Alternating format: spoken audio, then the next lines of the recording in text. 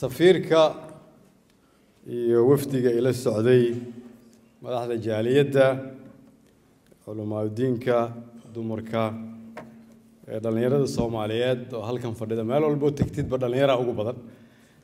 Kulligiinba waxaan marka hore cid walboo joogta idinku salaamay salaanta islaamka. Assalaamu calaykum waraxmat ullahi wabarakaatu marka ugu horeysa waa mahadsantihiin soo dhoweynta diiran safir adiga iyo jaaliyadaaduba marka labaad waxaan salaan idinka sidaa oon rabaa inaan deynta iska bixiyo madaxweynihiina madaxweyne maxamed cabdulaahi maxamed farmaajo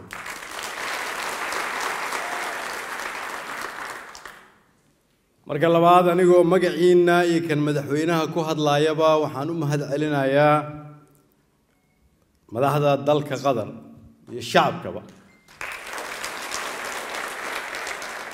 Oo runtii si diiran noo soo dhoweeyey laga bilaabo amiirka ama ra'iisul wasaaraha ama wasiirada.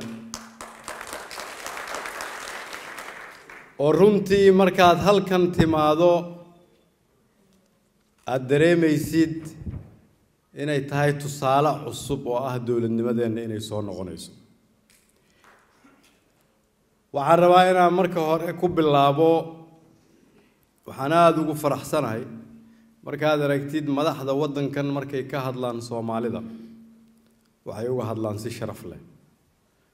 Taas waxaa keentay isku duubnida iyo madaxda aada halkan haysataan oo aan ahayn safaarad ama dowlad soomaaliyeed keliya laakiin aan aaminsanahay inay tahay odayaashiina dhaqanka culamaa udiinkiina dhallinyarada oo ka shaqeeyey in si midnimo ay ku dheehan tahay.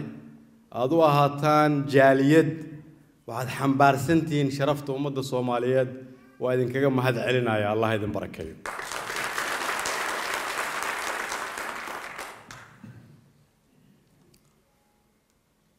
caawa waxaan rabaa inaan idinkala hadlo xaguu marayaa dalkeenni fursad noocee ah ayuu dalku leeyahay? Maxaana uga aadan qof walboo soomaaliyeed? Inta aanan u gelin taa waxaad ogtihiin halkan markaa nimid maalin dhoweed aniga iyo wasiiradu.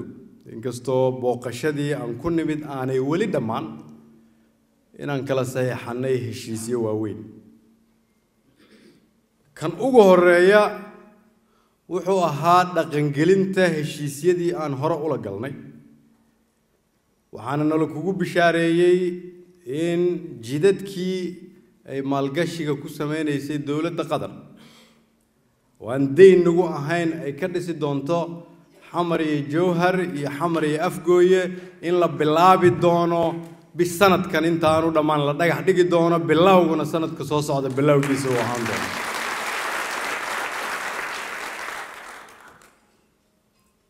waa mashaariic jideed kii ugu weynaa oo ay dalkan dibaddiisa ka fuliyaan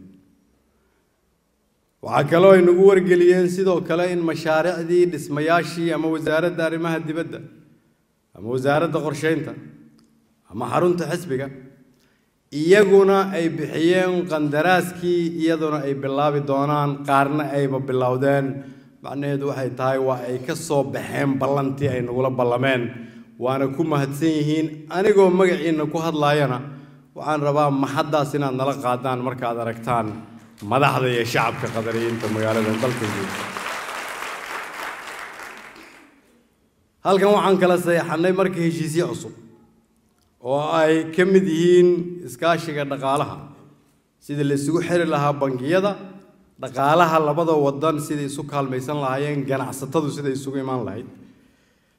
Maalgashi ay sameeyaan lagu sameeyo dalka soomaaliya. Iskaashiga gaadiidka badda cirka dekadaha iyo iskaashiga amniga.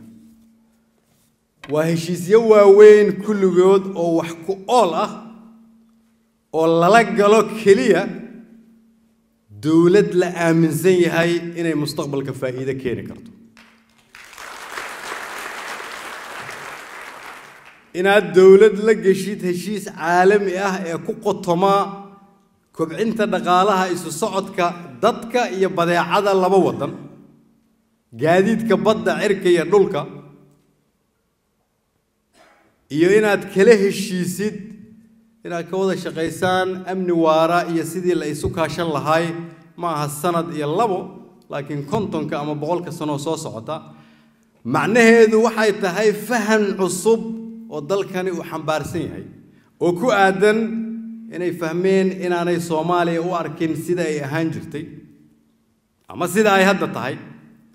Laakiin inay u fahmeen soomaaliya sida ay noqon karto mustaqbalka waa sida ay ku salaysan tahay aragtida madaxweyneheenna. Waa sida ay ku salaysan tahay aragtidayda iyo aragtida xukuumadda. Waa hadafka aan ka leenahay dowladnimada mustaqbalka kaasoo ah inaan fahamnay inaan leenahay badda ugu dheer afrikateeda labaad. Inaan nahay dalka isku xira badda cas iyo indian oceanka in biyaha baddeenna hoostooda ku jira oo la cabo keliya haddii la soo saaro ay ku filan yihiin in ka badan kun sano afrika oo dhan.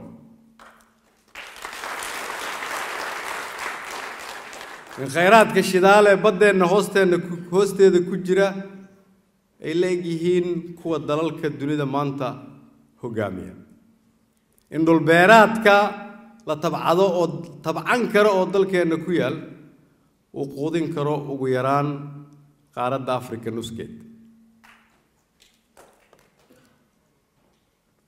In dahabka dhagxaanta dalkeenna yaalla ay yihiin kii dunidu u soo ordi in keliya juquraafi ahaan dalkeennu meesha uu ku yaallo iyada lafteedu ay tahay dhaqaalo socda in baddeenna keliya toddoba boqol oo bilyan oo dollar jid ay marta ay tahay. Hawadeenna nasaf loogu jiro. Waa nimco ummadda soomaaliyeed ay ku fadhido aanay ku fadhi karin.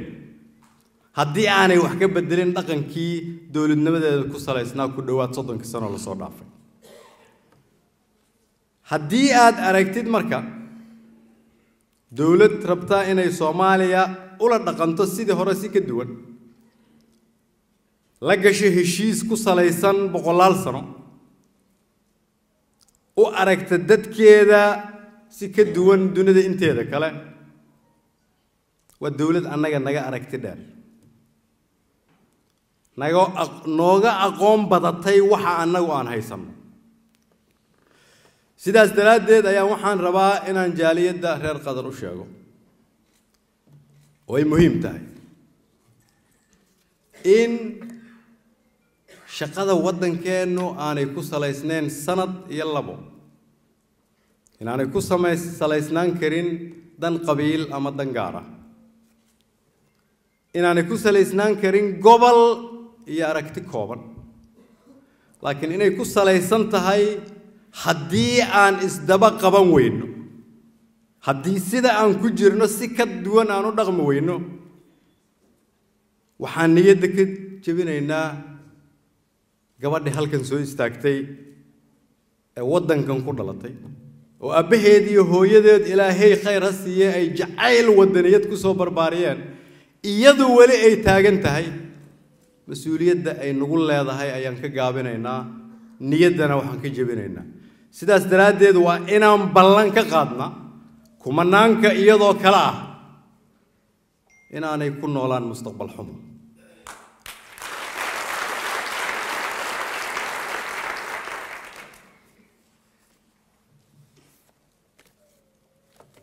dalkiinnii xagguu maraaya. Annagu dalka waxaan ugu nimid. Iyadoo dad badan oo soomaaliyeed ay soo dadaaleen meelna ay soo gaarsiiyeen laakiin meesha la soo gaarsiiyey aanay ahayn meel uu dunida la jaan qaadi karo. Dhaqankii aan ugu nimid aanu ahayn dhaqan lagu aamini karo. Hiigsiga aan ugu nimid aanu ahayn mid ilaalin kara khayraadkii hadda aan idiin sheegayo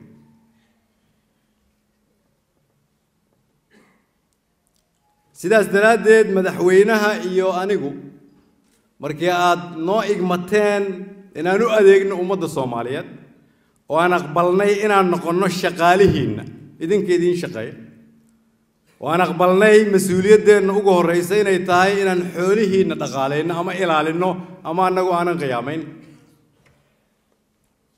Waxaan samaynay wax la yidhaahdo waa maxay waxa ugu horreeya oo madaxweynaha iyo ra'iisul wasaaraha ku waajiba waxaan garanay inay tahay marka hore inta annagu aanan dalka wax u qaban inaanan dalka dhibaatayn macnaheedu waxay tahay anigii madaxweynuhu inaan jeexanno siyaasad ah inaan aniga isagu ka madax bannaannahay musuq maasuqa ka madax bannaannahay qabyaaladda iyo ninjeclaysiga ka madax bannaannahay in shisheeyanna iibsan karaan noona sheegi karaan go'aanka aan dalkeenna u gaarayn ka madax bannaannahay in milyan ama laba ama saddex ama boqolaal milyan nala ku doorsiin karo jiritaanka ummadda soomaaliyeed iyo mustaqbalka dhallinyarada soo koraysa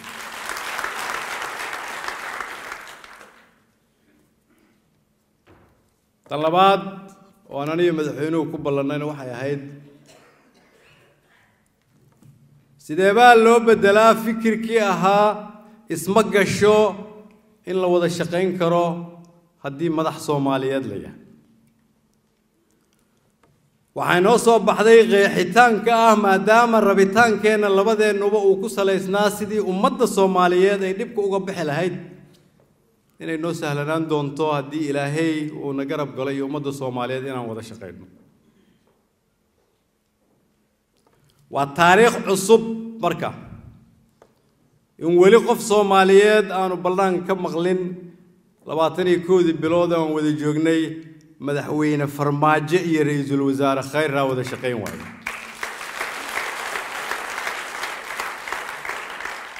Intaasi waa inta ugu yar oo aada waajib noogu leedihiin. Waxaan idiin ballan qaadayaa inaan sii wadi doonno haddii ilaaha yidhaahdo danta dalka ayaa ka muhiimsan danta shakhsiga. ah waa maxay hadafyada aan ka leenahay marka dalka soomaaliyeed? Inta aanan wiilashii iyo gabdhihii halkan soo istaagay kala hadlin iyagana waajibaad ka saaran. Waxaan ka leenahay hadafyada soo socda. Kow waxa khayraada oo aan idiin sheegay dal kale. Haddana waxaan nahay dalka dunida ugu yar marka la fiiriyo miisaaniyaddeeda deenna sanadlaha ah. Dalkaas ku dhowaad shan iyo toban milyan oo qof ay joogto oo xeebtaas leh oo kalluunkaas leh oo dhulbeereedkaas leh oo ganacsigaas dunida ku faafay leh oo qaarado isku xidha miisaaniyaddii sanadkani aan dhammaan waxay ahayd laba boqol iyo toddobaatan iyo afar milyan. Ka nugu dheggan oo kenya ah waa soddon bilyan oo dollar. Kan dhinaca kale nooga dheggan oo etoobiya ah waa lix iyo labaatan bilyan oo dollar.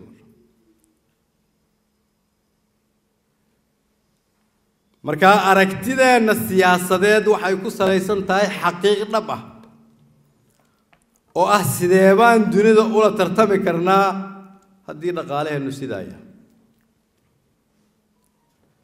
maxaan yeelnaa marka waxaan bilownay marka dhaqan ka duwan hore. Kow in la shaqeeyo arrimaha dhaqaalaha. Laba in la isku xiro ganacsatada iyo dowladda. Saddex inaan la aqbalin musuq maasuq. Inaan la aqbalin siyaasi inuu ku takri faro xoolaha ummadda soomaaliyeed inaan sidii arday iskuul dhiganaysa uga shaqayno inaan ka soo baxno shuruudaha ay dunidu nagu xirtay si deynta mustaqbalka noola kaga cafiyo dhaqaalaha dunidu ay ku wada shaqaysatana aan leenahay. Bangiyadeenna ay bangiyada dunida ugu xiran yihiin. In dib loo dhiso hay'adaha dhaqaalaha ama bangiga dhexe ama wasaaradda maaliyadda in la kobciyo hay'adihii wax soo saarka in shaqo la abuuro. In qof walboo dowladda u shaqaysa mushaar la siiyo si isla xisaabtanka is-aaminku halkaasu uga bilowdo kow iyo labaatan bilood kadib waxaan idiin sheegayaa bishan disembar waxay tiri hay'adda dhaqlacagta adduunka waxay soo gaartay soomaaliya inaan la saxiixanno may labada kun iyo sagaal iyo tobanka heshiiska ugu dambeeyey oo deynta looga cafi lahaa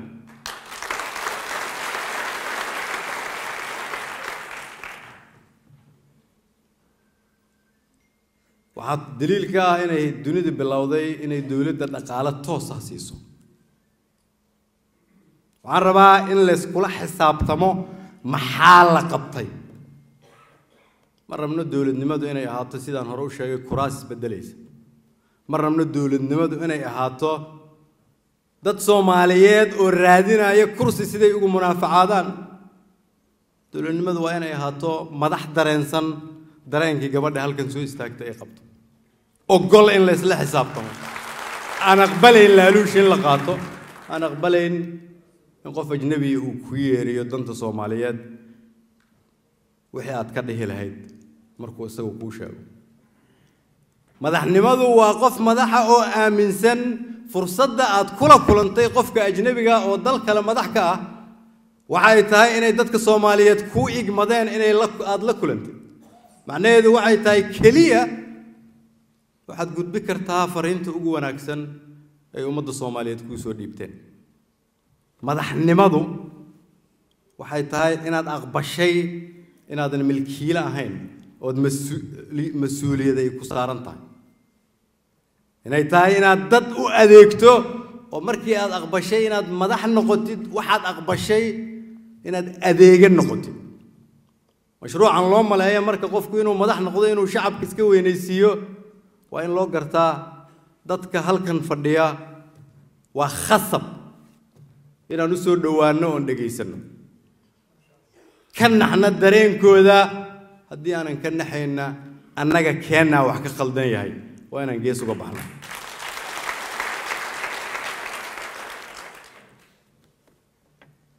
Sidee marka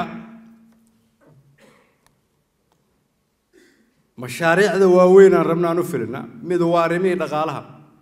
Si dhaqaalaha loo kobciyo marka waxaad u baahan tahay dunidu inay kuu timaado kuu timaado. Siay dunidu kuugu timaado marka waa inaad leedahay nidaam siyaasadeed oo lagu soo ordi karo. Tubta labaad ee tan dhaqaalaha soo xigto oon ka shaqayno waa tub la yidhaahdo tubta siyaasadda loo dhan yahay. Taas marka waa aragti ka turjumaysa boqolka sano soo socota haddii ilaahay yidhaahdo macnaheedu waxay tahay shaqo walba oo hore u dhib badnaatay in la dhammaystiro aasaaskeeda in la jeexo. Waa maxay macnaheedu? Macnaheedu waxay tahay waa in la helaa wixii ummadda soomaaliyeed isku hayn lahaa. Nidaamkii isku hayn lahaa nidaamkaasi waa maxay dastuur dhammaystiran oo dadku wada ogol yihiin? Siyaasad dhammaystiran oo ka turjumaysa gabadhaas halkan timid markay rabto inay mustaqbalka madax noqoto xisbigii siyaasadeed ay geli lahayd ama furan lahayd. Sharci doorashooyin oo ay u imaan lahayd ay qayb ka noqon lahayd nidaam doorasho oo ku salaysan in dadka soomaaliyeed ay cidda ay dooranayaan ku doortaan aqoontooda. Dowlad laguma dhisi karo qabiilkee tahay markaa rabto inaad dunida la tartantid duniduna ay bilowdo inay aqoon isu dhoofiso aqoonna kala iibsato. Annaguna aan taagannahay qarniga koo iyo labaatanaad laakiin weli aan u dhaqmayno sidii qarniga sagaaliyo tobnaad waxay tahay marka inaan samayno shuruuc dhammaystiran. Ama ahaado dastuur ama ahaado doorasho ama ahaado asxaab ama ahaado sharci cadaalad dalkao dhan ku soo dabaala. Waxaan idiin sheegayaa ugu yaraan boqolkiiba lixdan ama toddobaatan. Shaqadoosoo dhan waa soo dhammaystiran. Waxay u baahan tahay keliya inaan soomaali soo hordhigno ay ka heshiiso. Dastuurka afartii shantiisii cutuba ugu horreysay waa la dhameeyey. Afartii ku xigtana waxay maraysaa meel fiican. Shanta ugu dambaysana waxaa u dhiman keliya inay soomaalidu ku heshiiyaan. Macnaheedu waxay tahay waa inaanan ka baqin su'aalaha waaweyn oo dadka dhallinyarada u dhammaystiraya mustaqbalka inay dareemaan fursad dowladnimo. Arrinka saddexaad oo aan ka shaqayno waxaa la yidhaahdaa adeegyada bulshada. Dowladi waxay sideedaba dowlad ku tahay inay shacabka adeeg siiso inay iskuullo leedahay inay isbitaallo leedahay. Inay jidad dhisto inay buundooyin dhisto inay shaqo abuurto. Inay dadkeeda u gurmo karto inay waxbarasho siin karto. Inay dunida albaabaheeda u furi karto dowlad marka hal iskuul aan lahayn ama hal isbitaal oo iyadu ay jeebkeeda ka bixisa aanay lahayn sida keliya ood ku fahmi karta inay dhibaato qabto waxay tahay markaa shacabka soomaaliyeed mana aaminayaan mustaqbalka fog haddaanay ka helin dowladda adeegga ay ku leeyihiin. Dowladdiinna waxay bilowday inay iskuullada la wareegto isbitaallada la wareegto. Jidadka inay dhisto. Dowladdiinnu waxay bilowday mashruuc la yidhaahdo isxilqaan.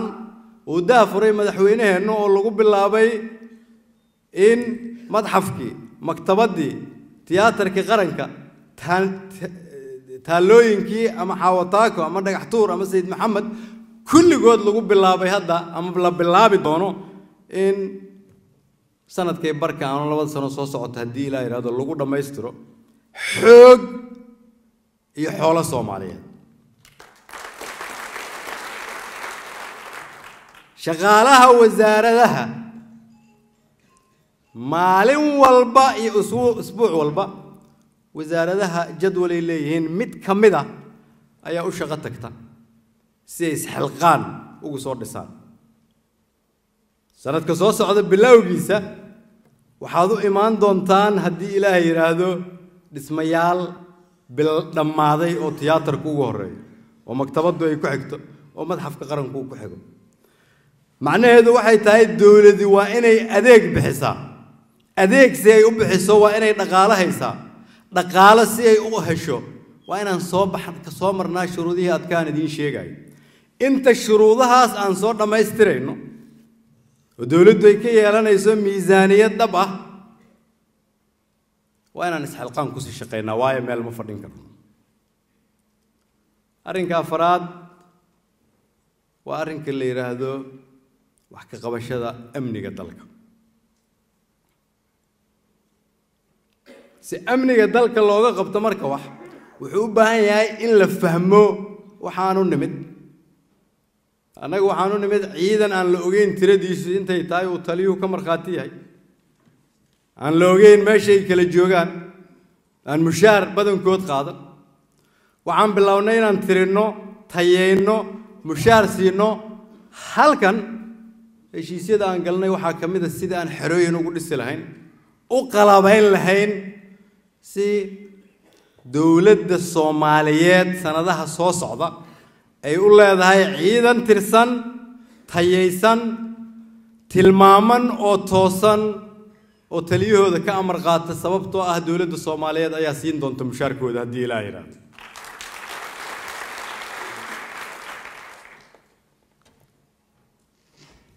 intaas waxaa noo dheer waxa la yidhaahdo siyaasad arrimo dabadeed oo qoto dheer waxyaabaha ugu badan oon la kulannay waxay tahay ma aha sida aan u naalno iyo sida dalkeenna aan u duminay laakiin waxa ugu badan oon la kulannay aan weli ku dagaalamayno in la bedelo waxay tahay sidaan u bedeli lahayn waxaa nala ka aaminsan yahay. Waxaa kale laba ah waxaa dadka soomaaliyeed iska aaminsan yihiin iyo waxa ay dunidu naga aaminsan tahay maadaama uu nagu dhacay qaranjab. Waxa ay keentay qalbi jab. Qalbijabkaasina waxa uu keenay qaawanaan qarannimo. Qaawanaantaasi waxay bannaanka soo dhigtay ceebaheenna sababtaadu maqlayso waxaa isdagaalsan aan heshiisayn culummada ama dhallinyarada ama ganacsatada ama haweenka soomaaliyeed oo lafdhabarka ummadda soomaaliyeed ah sababtu waxa ay tahay intaasoo dhan oo la isgeeyey ceebteeda waxaa asturta hal wax keliya. Inay jirto dowlad xoog leh quwad leh laakiin aan qabyaalad ku salaysnayn iyo qof raadinaya inuu isagu qowlaysto laakiin dowlad qarannimo xambaarsan oo ilaalinaysa sharafta iyo karaamada ummadda soomaaliyeed. Heshiiska soomaaliyeed meesha laga raadinayo marka ugu horreysa marka waxay tahay soo celinta sharafta iyo karaamada ummadda soomaaliyeed. Dariiqa ugu sahlan ee lagu soo celin karo sharafta iyo ummadda karaamada ummadda soomaaliyeedna waxay tahay in la helo dowlad u adeegta iyaga. Ama jidadka la dhisaayo ama isbitaalada lala wareegaayo ama iskuullada lala wareegaayo ama maxaabiista meel walba laga soo daynaayo waxaan idiin ballan qaadayaa qabiil soo dayn kara inaanu jirin.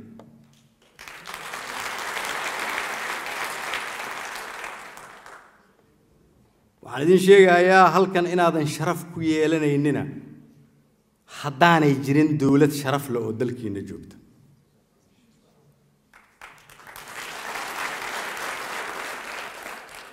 Hadafka dowladnimo iyo doodeyda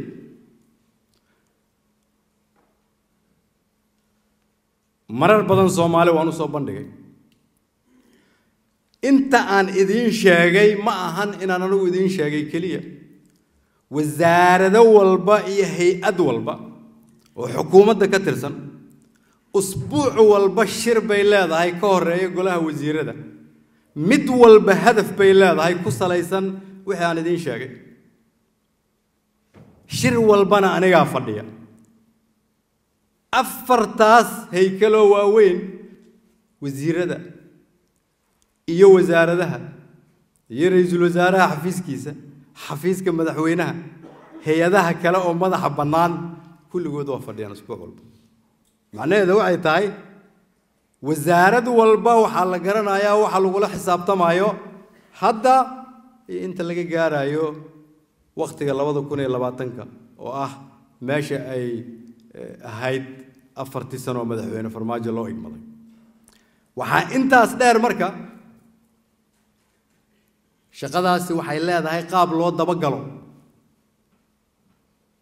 Oo xafiiska ra'iisul wasaaraha yaalla oo madaxweynuhuna uu og yahay waan ognahay wasaarad waliba meesha ay joogto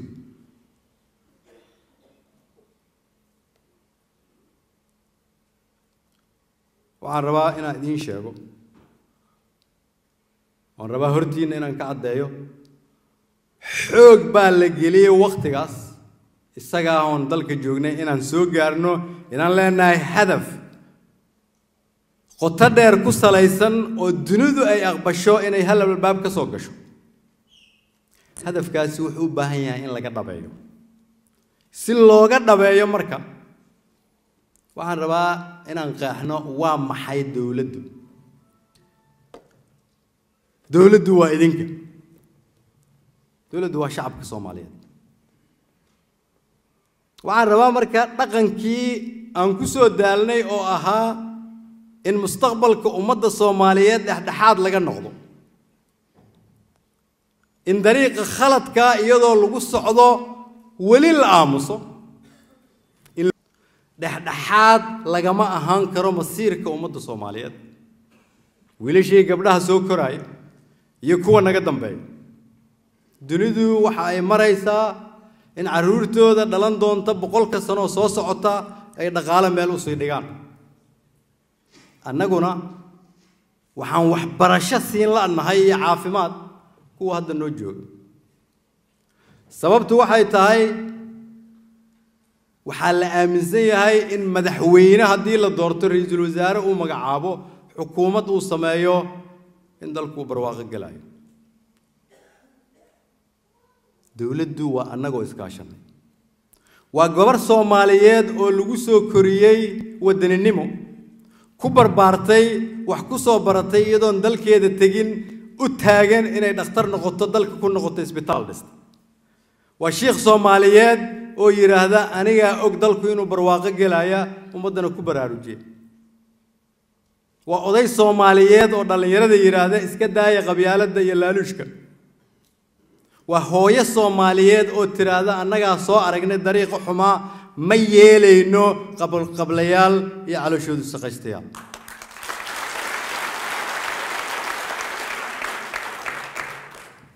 dowladnimadu waa soomaali tiraahda soomaalinimadaan rabnaa dowladnimadu waa soomaali tiraahdo waa ku daalnay sida hore waxaan rabnaa sharafta iyo karaamada ummadda soomaaliyed inaan soo celino anigoo aad u qadarinaya inaad tihiin jaaliyadihii aan dibadda ku arkay tan isugu duuban haddana waxaan rabaa inaad xisaab gelisaan dalkiinna maxaa gacan ka geysataan si dib loogu dhiso inta annagu aan joogno xukunka waxaan idiin ballan qaadayaa inaanan aqbali doonin in nala cabsiiyo. Inaan aqbali doonin in dariiqa saxdaa nala ka leexiyo. Inaan aqbali doonin in la yidhaahdo nala shaqaysta haddii kale waa idinka ridayna. Inta aan annagu madaxda nahay anigoo ku hadlaaya keyga iyo kan madaxweynaha waxaan idiin sheegi doonaa sharafta aan raadinayno kama raadinayno qabqablayaal waxaan ka raadinaynaa shacabka soomaaliyeed oo mahadsanteed